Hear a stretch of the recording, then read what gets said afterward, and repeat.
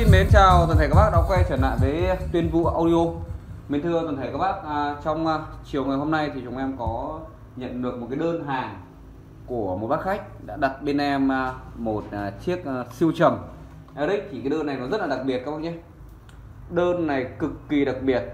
Đó, đơn này của anh là đổi một nọc một đẩy. Đó, để lấy một chiếc súp Eric này bên em Thì chúng em cố tình là làm một cái video để test trước khi gửi cho anh khắc. Đây ạ. Anh khắc là ở hải dương. Đó anh ở nhà máy xi măng thị trấn phú thái huyện kim thành tỉnh hải dương nhé.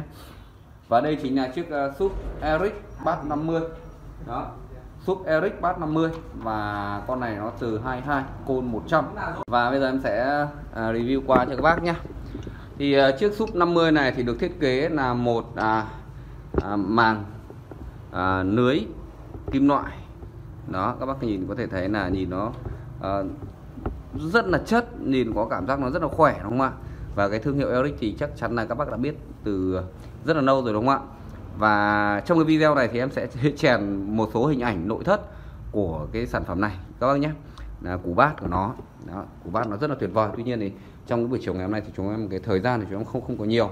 Cho nên là chúng em sẽ không tháo được ra đó ở đây thì khi mà các bác về thì nó có duy nhất là một đường input vào.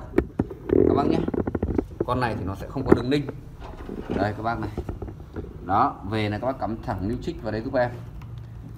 Đó cắm thẳng lưu trích vào đây giúp em này. Mã của nó là M3 25 mã 8 8B các bác nhé. Công suất 500W đó độ nhạy của nó lên đến 100 dB các bác. Này, rất là rất là kinh khủng luôn. Đó và như đoạn đầu video thì em cũng đã có test cho các bác rồi. Đã test cho các bác một đoạn video rồi. Thì cái này thì em ờ, review nhanh để có thể là gửi tới ờ, toàn thể các bác. Còn ờ, mặt bát nhé mặt bát thì các bác có thể thấy này, em sẽ zoom lên. Đó. Mặt bát này thì là nó là mặt bát gân sóng. Đó. Gân gợn sóng. Nhìn nó rất rất là đẹp, đúng không ạ? Tất cả sản phẩm em đều bao zin hết cho các bác. Tất cả đều bao zin đó từ cái mặt kim loại lưới này nó cũng là hàng zin hết không hề động chạm gì. Đó nên là khi uh, sử dụng những sản phẩm này thì hoàn toàn yên tâm. Đó và bây giờ thì chúng em uh, xin phép được uh, uh, đóng hàng và gửi đi cho anh uh, khắc ở Hải Dương. Đó và đảm bảo với anh rằng là trước khi gửi cho anh thì sản phẩm là chạy hoạt động hoàn toàn bình thường.